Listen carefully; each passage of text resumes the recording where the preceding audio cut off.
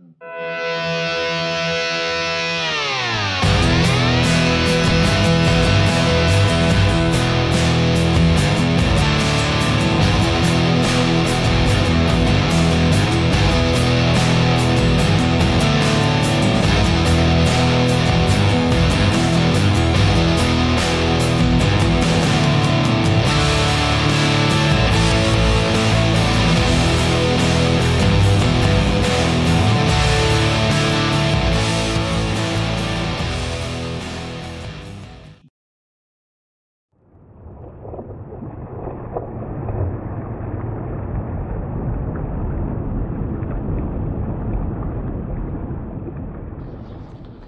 Okay, so as everybody knows, we've got a pretty serious situation going on all around the world uh, with this coronavirus crap.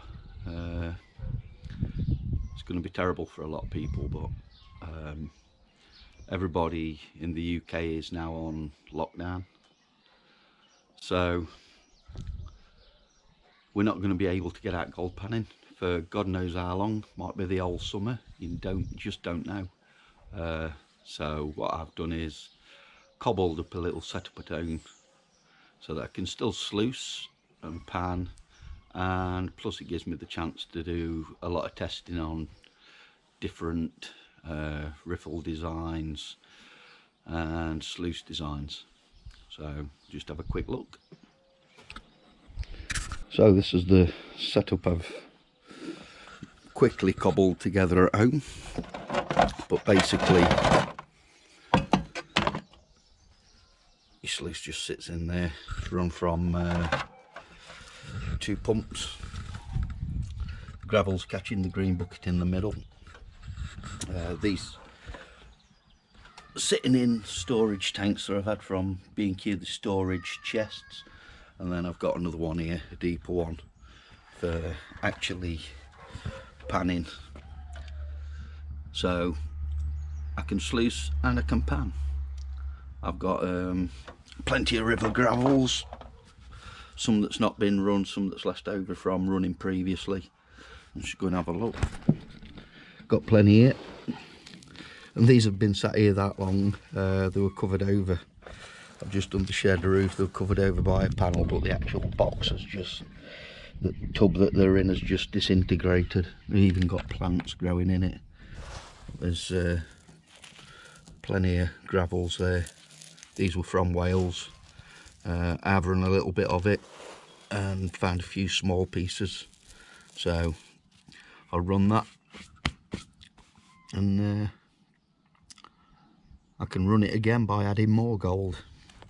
Just a bit of fun to keep the uh, gold fever at bay while this coronavirus is running bloody rampage. Okay so uh, we'll just get a fire up and uh, show you how it's working pump going.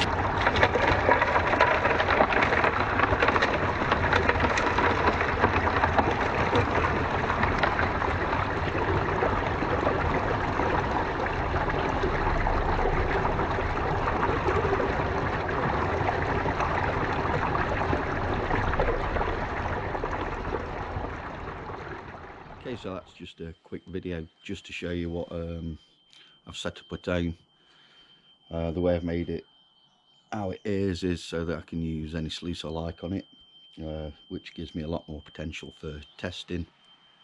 Uh, and it'll keep me entertained while we can't get out on the rivers due to the lockdown.